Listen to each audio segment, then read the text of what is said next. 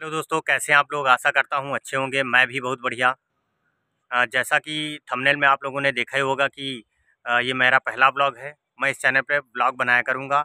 अगर आप लोगों को मेरे द्वारा बनाया गया ब्लॉग अच्छा लगे तो लाइक अवश्य करिए और चैनल को सब्सक्राइब करिए, ताकि मेरा मनोबल बढ़े और मैं आप लोगों के सामने नई नई चीज़ें या नई नई वस्तुओं को दिखाएँ और दिखाया करूँ।